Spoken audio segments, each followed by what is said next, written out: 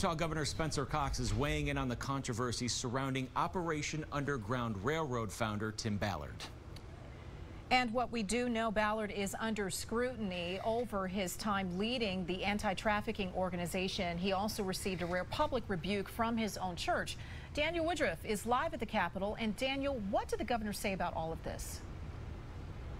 Well, Governor Spencer Cox says he doesn't know Tim Ballard well. He only met him once, but that he's deeply troubled by these allegations against him, specifically that Ballard was accused by seven women of sexual misconduct before he left Operation Underground Railroad.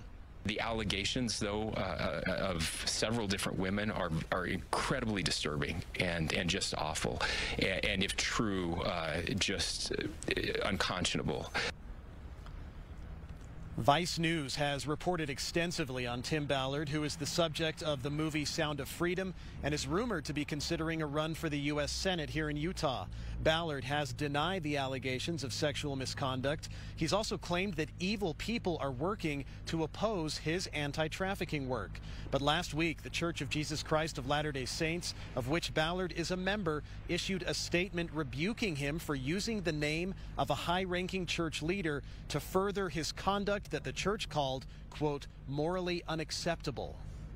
I know there was a lot of pushback, like, did this really come from the church? Did it come from a rogue spokesperson? Uh, I, I, reached out to the church personally uh, and, uh, and, and was assured that that did come from the church, that it had been vetted through all the normal church processes. Now, Tim Ballard insists he's a member of the church in good standing. Meanwhile, Operation Underground Railroad has said that Tim Ballard is no longer affiliated with them in any way as of earlier this summer, and that they do not tolerate sexual harassment or discrimination. Live at the Capitol, Daniel Woodruff, KUTV 2 News.